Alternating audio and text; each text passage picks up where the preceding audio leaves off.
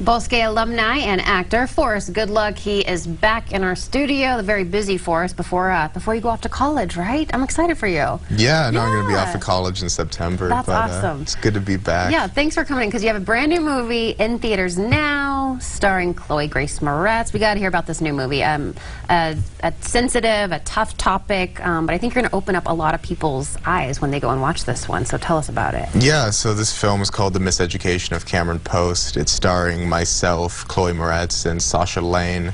And we play three crazy teenagers all caught up in the crazy system of gay conversion therapy. And it's about us struggling to find ourselves while also struggling to, I guess, meander this crazy adult world and Yeah. try to find, like, kind of who we are. Did you do research in that area? Did you get online and say, all right, let me see, you know, some previous stories of people who really do believe in this stuff? Yeah, well, it's a crazy thing. I mean, there's so many, I guess, views of of uh, that sort of, you know, gay conversion therapy. Like, there's so many different views you can take on it. Um, for me, I didn't actually in the film play a gay character. I played a young man who identified as a Winkte male or two spirit. So this was a character who, like, literally the word Winkte in Lakota means um, man killed by woman. So like I myself and my character felt like he was in this constant battle of like a female spirit attacking his male spirit. Okay. And I think that was like a beautiful way to put it. Yeah. So like I mean it was easier to feel that because like there's energy to that, and as an actor I could play into that. You've already seen the movie, so Mm-hmm. when folks do tune in and go see this in theaters, which you can now, um, what do you hope they take away from it?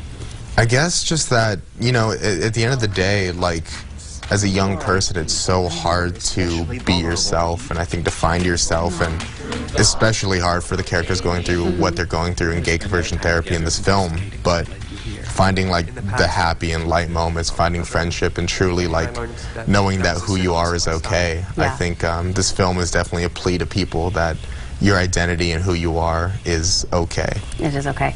Um, we've talked before because uh, you co-starred with Leonardo DiCaprio. So, what has been maybe the craziest fan story to come your way? E- Either folks reaching out Yeah. to you in person or on Instagram. And I already know this answer, but I wanted you guys to hear it too. So tell the audience what yeah, happened. so uh, I got this like random DM on Instagram that was like, "Hey man, like loved your film, loved it so much. I got your face tattooed on my back."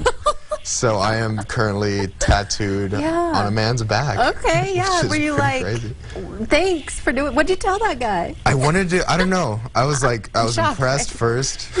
I was shocked, and I guess I just wanted to uh, see it when it was like all healed up because yeah, it's still yeah. pretty bandaged Oh my gosh, up. it was still so- bandaged. Yeah. Forrest, good luck. Um, thank you so much. Good luck in college, no pun intended. Um, come back and see us because I know you've got a lot of things in the works, and uh, um, we wish you all the best. I know Bosque School is super proud of you, so thank you so much.